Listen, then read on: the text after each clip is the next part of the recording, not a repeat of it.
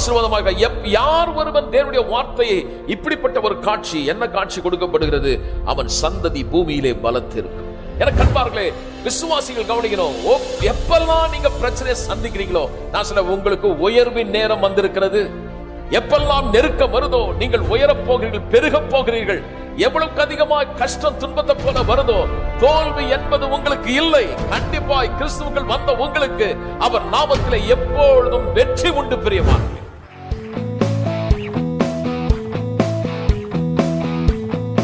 ரோமருக்கு எழுதின புத்தகம் மூணாம் அதிகாரம் இருபது. எடுத்துக்கொள்ளுங்க. தயவுசெய்து please open your Bible chapter Roman chapter three and verse twenty ரோமருக்கு எழுந்த நிருபம் மூணாம் அதிகாரம் இருபதாவது வசனம். எல்லாம் திருப்புங்க. ரோமருக்கு எழுந்த நிருபம் மூணாம் அதிகாரம் இருபதாவது வருஷத்தை நாம் திருப்பிக் கொள்வோம் ரோமருக்கு எழுதின புத்தகம் மூன்றாம் அதிகாரம் இருபதாவது வசனம்.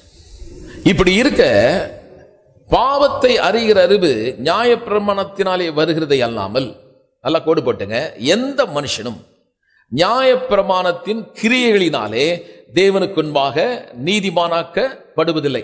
என்ன கொஞ்சம் கவனிங்க. நான் எதையும் இங்கே சுயமாக பேசுறதில்லை. வேதத்திலிருந்து உங்களுக்கு நான் தெளிவாக காட்டுறேன். எப்போ நம்முடைய இறுதியம் உறுதியாக இருக்கும்? எப்போ நான் பாவி? கர்த்தர் என்னை தண்டிச்சுக்கிறாரு.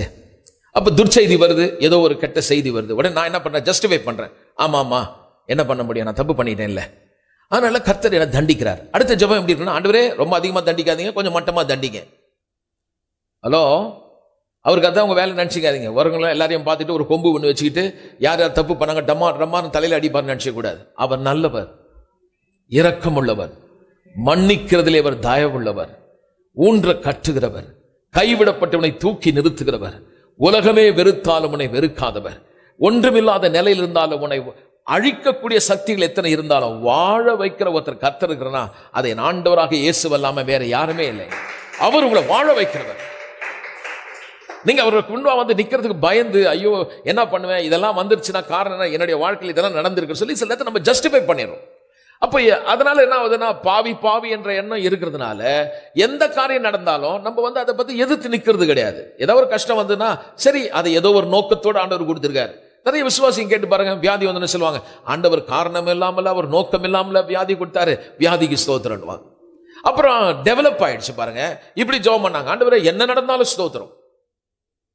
அதாவது நீங்க கொஞ்சம் யோசிச்சு பாருங்க. என்ன நடந்தாலும் ஸ்தோத்திரம்னா நீங்க ரொம்ப நல்லவங்களா ஆண்டவரே என்னை அடிச்சாலும் என்னை உதைச்சாலும் கொண்டு போட்டாலும் ஸ்தோத்திரம்னா அவர் ரொம்ப அவர் மூடு சரியில்லை பொழுது அப்பப்போ அடிப்பார் பொழுது அதனால நீங்க என்ன வேணால் பண்ணிக்க நாங்க பாவம் நாங்க என்ன பண்ண முடியும்? உங்ககிட்ட எதிர்த்து நிற்க முடியுமா? உமக்கு கும்பிடு போடுறேன்ற அர்த்தமா? அவர் அப்படிப்பட்டவரா? பயமுறுத்துகிறவரா? இரக்கம் இல்லாதவரா அல்லது அநீதியாய் சில காரியங்களை நடப்பிக்கிறாரா? எத்தனை முறை இப்படி ஜாம் பண்றாங்க சில பேர்? வாழ்க்கையில கஷ்டம் வரும் சொல்றாங்க ஏன் ஆண்டவரே என் வாழ்க்கையில் இந்த கஷ்டம் என்ன கேட்கறாங்க நான் கரெக்டா தானே இருக்கிறேன். வை ஆர் மேக்கிங் மிஸ்டேக் நீங்க ஏன் க- தப்பு பண்ணிட்டு இருக்கீங்க? ஏன் ஆண்டவரே என்ன அர்த்தம்? ஏன் ஆண்டவரே நீங்க இப்படி தப்பு பண்றீங்க? எனக்கு அன்பானதெல்லாம் ஏன் வருதுன்னா நம்முடைய சுய நீதிங்க நான் நல்லதாக வாழ்ந்திருக்கேன். நான் ஆறு மணி நேரம் ஜாப் பண்ணியிருக்கேன் உபவாசம் பண்ணியிருக்கேன். நான் நிறைய டாக்ஸ் கொடுத்துருக்கேன் அந்த ஊழியம் பண்ணியிருக்கேன். என் வாழ்க்கையில் நல்லது தானே நடக்கணும்? நல்லா கவனிங்க. நீங்கள் செய்யறதுனால நீதிமான அல்ல.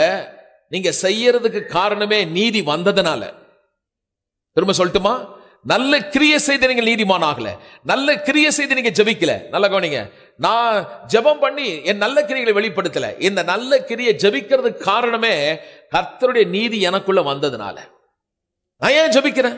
கத்திரனை நீதிமானாய் மாற்றி இருக்கிறா நான் ஏன் டாக்ஸ் கொடுக்கிறேன்? கர்த்தரனை நீதிமானாய் மாற்றி இருக்கிறா நான் ஏழைகளுக்கு ஏன் உதவி செய்கிறேன் கர்த்தரனை நீதிமானாய் மாற்றி இருக்கிறா நல்ல கிரிகள் நான் ஏன் செய்கிறேன்னா நல்ல கிரியை செய்து நான் நீதியை சம்பாதிக்கல.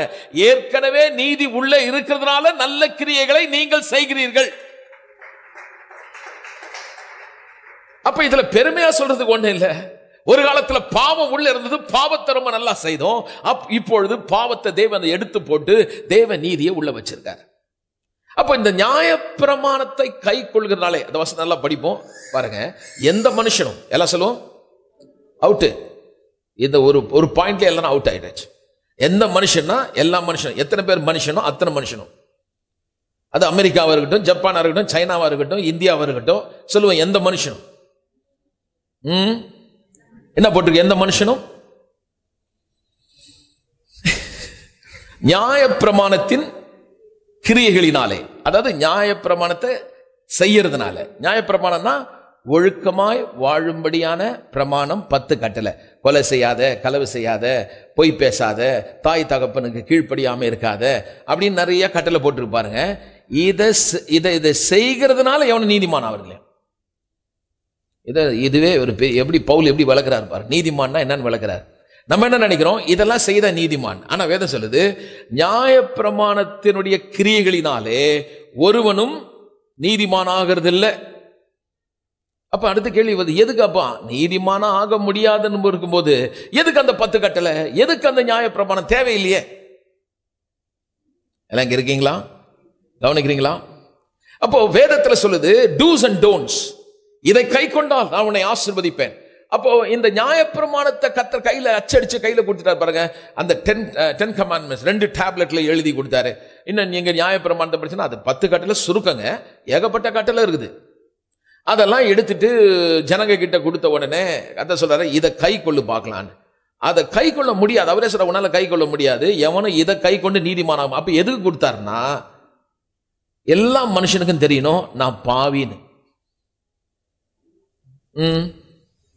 ராமேன் சொல்லுவார் எல்லா மனுஷனும் எந்த மனுஷன் சில பேர் என்ன நினைக்கிறாங்கன்னா கம்பேர் பண்ணிக்கிறது. பக்கத்து வீட்டுக்காரனுக்கு சொல்றது அவனை மாதிரியா நான் இருக்கிறேன் எனக்கு தெரிஞ்சுங்க நான் வந்து ஒழுக்கமா போவேன். வேலைக்கு போறது உண்டு நான் வீட்டுக்கு வருவேன். இப்போ இவர் யாரோட கம்பேர் பண்றாருன்னா தன்னை சுற்றி இருக்க ஜனங்களோட கம்பேர் பண்ணி அவர்களை விட தன்னுடைய நீதி மேல இருக்கிறதா நினைக்கிறாங்க. இப்ப கத்த சொல்றாரு அவங்களை விட அந்த நீதியை வச்சு என்கிட்ட வந்து நிக்க முடியாது. உனக்கு இந்த நீதியை சம்பாதிக்கவே முடியாது. எந்த மனுஷனும் போய் நிற்க முடியாம கத்த சொல்றாரு இந்த நியாயப்பிரமாணத்தை கை கொள்ளுனால நீ நீதிமான் ஆக முடியாது அப்ப ஏன் கொடுத்தாருன்னா எல்லா மனுஷனும் பாவின் தெரிந்து எனக்கு என்னால தனியா நிற்க முடியாது எனக்கு ஒரு ரட்சகர் தேவை. தட்ஸ் த பாயிண்ட் எனக்கு ஒரு ரட்சகர் தேவை. நான் என்னாலே என்னுடைய சுய பலத்தினாலே தேவனுக்குன்மாய் நிற்கிறதுக்கு எனக்கு தகுதி இல்லை என்பதை அறியும்படிதான் கத்த நியாயப்பிரமாணத்தை கொடுத்தாரே ஒழிய நியாயப்பிரமாணத்தை கை கொண்டு நீங்கள் நீதிமான் ஆகிறது இல்லை இப்போ திருச்சபையில புது உடன்படிக்கையின் சபையில திரும்ப திரும்ப இதெல்லாம் நீங்க செய்யணும். எதை செய்யக்கூடாது என்பதுதான் திரும்பவும் பழைய உடன்படிக்கை குறித்து பேசிட்டு இருக்காங்களே ஒழிய கிறிஸ்தேசுவானவர் என்ன செய்தார் என்ற அந்த மீட்பின் நல்ல செய்தி மிக தெளிவாக சபையாருக்கு கிடைக்கல. குட் நியூஸ் காஸ்பிள் அல்லது சுவிசேஷம் அந்த நல்ல செய்தியின் வல்லமை என்ன பிரியமானவர்களே? வேதம் சொல்லுகிறது தகுதியற்ற நிலையில் இருக்கிற என்ற ஒரு உணர்வை எடுத்து போட்டு தேவனால் உங்களுக்கு அவராலே அனுப்பப்பட்ட குமாரனாலே செய்யப்பட்ட அந்த மீட்பின் ரட்சிப்பை குறித்து எண்ணங்கள் மேலோங்கி வரணும். நான் தகுதியற்ற நிலையில இருந்தேன் ஆனால் ஏசுவின் ரத்தம் என்னை விலை கொடுத்து வாங்கி தகுதி இல்லாத என்னை அவருக்குன்பாய் நிற்கும் பொழுது எந்த குற்ற மனசாட்சி இல்லாமல் அப்பா பிதாவே என்று அழைக்கும்படி பிள்ளையாய் நிற்கும்படியான ஒரு தகுதியை கர்த்தர் எனக்கு கொடுத்து விட்டார். இப்ப நீங்கெல்லாம் பிள்ளைங்க. ஒரு ஆமேன் கூட வரமாட்டேன். கெட்ட குமாரனை குறித்து உங்களுக்கு எல்லாம் தெரியும். அவன் எல்லாத்தையும் அழிச்சு அவங்க அப்பா ரொம்ப நல்லவர். இதெல்லாம் புரிய வைக்கிறார் பாருங்க எப்படின்னு. நீ நீ பிள்ளைதான் புரிய வைக்கிறதுக்கு ஒரு ஸ்டோரி சொல்றாரு. எல்லாத்தையும் அழிச்சிட்டான். கடைசி எங்க போய் வேலை செய்தான்? பேச மாட்டேன் பண்ணி மேய்க்கிற வேலை அவனுக்கு கிடைச்சது பாரு. அதான் அவனுக்கு கடைசியாக கிடைச்ச வேலை. அந்த பண்ணி மேய்க்கிற இடத்துல பண்ணியோடு பண்ணியாக இருந்தான். அப்போ நான் கேட்குறேன் ஒரு மனுஷன் பண்ணியை மேய்ச்சிட்டு பண்ணி தின்ற தவிட தின்னா அவன் பண்ணி ஆக முடியுமா? ஒருத்தரும் பதிலே பேச மாட்டேன் பண்ணி ஆக முடியுமா? சத்தமாக சொல்லுங்க. புண்ணாக்கும் வைக்கோலும் தின்னா மாடு தின்ற வைக்கோலும் புண்ணாக்க தின்னா அந்த மனுஷன் மாடாயிட முடியுமா? சரி இந்த டெக்னாலஜி நான் இப்போ பேசுறேன். இன்னைக்கு இந்த காலத்தில் நீங்க கார் கராஜிலேயே உட்கார்ந்து நீங்க கார் ஆயிட முடியுமா? முடியாது. நீங்க மனுஷன் நான் யாரோ? நான் அதுதான். நான் எங்க போய் உட்கார்ந்துருக்கணும் அதை இல்லை அப்ப நான் என்ன சொல்றேன்? நீங்க எங்க போய் உட்கார்ந்துருக்கீங்களோ அதை வச்சுட்டு நான் ஒரு பாவியாக்கும் அப்படின்னு சொல்லக்கூடாது. அவன் பண்ணிய மேய்ச்சிட்டு இருந்தான். அதனால அவனுக்கு புத்தி என்ன இருந்ததுன்னு பாத்தீங்கன்னா நான் பிள்ளை கிடையாது. நான் தகுதி கிடையாது. நான் எப்படி போய் அவருக்கு முன்னாடி நிற்பேன்? எனக்கு அவமானமா இருக்க எல்லாம் என்னுடைய இன்ஹெரிட்டன்ஸ் என் சுதந்திரத்தை எனக்கு அப்பா கொடுத்தாரு. எல்லாத்தையும் அழிச்சு போட்டேன். நான் எப்படி போய் நிற்பேன்? நான் எப்படி பிள்ளையா நிற்பேன் என்ற எண்ணத்தோட வரான். ஆனால் அங்கே போய் பாருங்க வேதத்தை படித்து பாருங்க. அந்த தகப்பன் அந்த பிள்ளைய ஒவ்வொரு நாளும் மேலே இன்னும் பார்த்துட்டே இருக்கா வருவானான்னு. யாருக்குமே அடையாளம் தெரியல பாருங்க. பன்னியமேஸ்வரனே. மற்றவனுக்கெல்லாம் பண்ணி மாதிரி தெரியுது. ஆனால் அப்பாவுக்கு கொண்டி தான் பண்ணி மாதிரி தெரியல பிள்ளை மாதிரி தெரியுது. இன்னைக்கு நீங்க செய்யற செயலை வச்சு சில பேர் சொல்லுவாங்க மாடுலாம் கேவலமா பேசலாம். உங்களை அருவருப்பான வார்த்தையை சொல்லலாம். அடையாளம் தெரியாத மாதிரி இருக்கலாம். ஆனா உண்டாக்குன தேவனுக்கு உங்களை குறித்து நீங்க எந்த நிலையில இருந்தாலும் உங்களை ஒரு நாளை கேவலப்படுத்தி பார்க்கறது இல்ல பிள்ளைகளா பார்க்கிற மகனே மகளேன்னு பார்க்கறது ஒருத்தர் இருப்பாருன்னா அதை என் ஆண்டவராக இயேசு மட்டும் தான் பாருங்க. எவ்வளவு ஒரு உயர்ந்த எண்ணம் பாருங்க. எனக்கு கண்மான்களே இந்த உலகத்துல எந்த மனுஷனுக்கும் அப்படிப்பட்ட எண்ணம் கிடையாது. ஒரு நாளும் நீங்க இந்த தேவனை உங்க அப்பாவோடையோ உங்க சொந்தக்காரோடையோ கம்பேர் பண்ணிக்காதீங்க. இந்த உலகத்திற்கு ஜனங்களை போல இல்ல இவர் மேலானவர் உயர்ந்தவர் சிறந்தவர் அவர் உள்ளம் மிக பெரியது அவருடைய அன்பு மிக பெரியது ஒருவேளை நீ ஒதுக்கப்பட்டு தள்ளப்பட்டு நான் ஒரு பாவத்தை செய்து நான் இப்படி இருக்கிறேன் நான் தகுதி இருக்கான்னு சொன்னா எனக்கு அன்பான நீங்க தகுதி உங்களால உண்டாகல. ஒரு நல்ல செய்தி என்னவென்றால் உன் தாயில கருவில நீ உண்டாவதுக்கு முன்னாடியே உன் பாவங்களை இயேசு சுமந்து தீர்த்து விட்டார் பிரியமானவர்களே. தட்ஸ் அ குட் நியூஸ்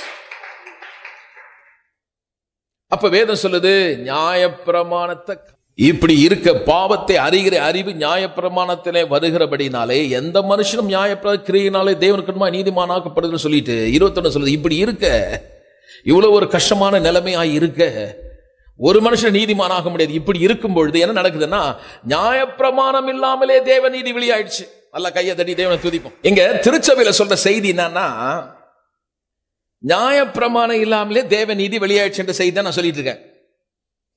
பகலாப் சொல்லுங்க நல்லா கவனிங்க. நீ ஒழுக்கமா வாழக்கூடிய கட்டளையை நீ கை கொள்ளாமலேயே நீ நீதிமான் ஆயிட்ட. இது என்ன ஒரு பெரிய ஷாக் இது என்னடா இது? நான் சொல்றேன் நினைக்கிறேன் இங்க படிச்சு பாருங்க. வேதம் என்ன சொல்லு பாருங்க? இருபது இருபத்தொன்னு. இப்படி இருக்க நியாயப்பிரமாணம் இல்லாமலே. எல்லாம் சொல்லுங்க? திரும்ப சொல்லுங்க. அப்ப நியாயப்பிரமாணத்தை கை கொண்டதுனால தேவ நீதி ஒரு மனுஷன் ஆக முடியாது. ஆனால் அப்படி இருக்கும்போது தேவனே ஒரு வழியை பண்ணார். ஒரு ஒரு ஒரு அற்புதமான காரியம் அதுதான் எங்கள் சபையில் நல்ல செய்தி சொல்லிட்டு இருக்கும். உன்னை குற்றப்படுத்துறானே. உங்க குடும்பத்தில் பிள்ளைக்கு வா- வியாதி வரும்பொழுது சாத்தா சொல்றான் உங்க புருஷன் சரி கிடையாது உன் பிள்ளையும் சரி கிடையாது அதனால தான் கத்தை தண்டிச்சிருக்கிறாருன்றான். சாத்தான் சொல்றான். இன்னைக்கு இந்த நிலைமை வந்ததுக்கு காரணம் என்னன்னா நீ செய்தது. அதனால தான் நீ இப்படி இருக்கிறேன்னு சொல்லும் பொழுது நீங்க உடனே கலங்கி நிற்க வேணாம். கத்திர உங்களை நேசிக்கிறார். உங்களுக்கு ஒரு நல்ல செய்தியை நான் சொல்றேன். உலகமே வெறுத்தாலும் வெறுக்காத ஒருவர்.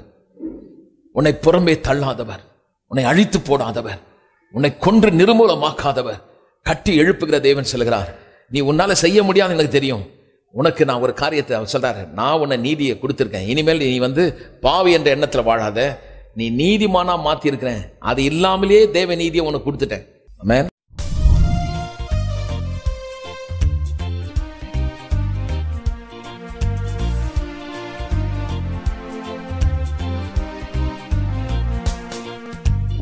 ஆமென் உன்னை ஆசீர்வதித்தேன். உன்னை மேன்மைப்படுத்துவேன். உன்னை ஆசீர்வதித்தேன். உன்னை மேன்மைப்படுத்துவேன். உன் எல்லையை நீ விரிவாக்கு. உன் கயிறுகளை நீளமாக்கு. உன் கூடாரத்தை விசாலமாக்கு. அதை தடை செய்யாது. எல்லையை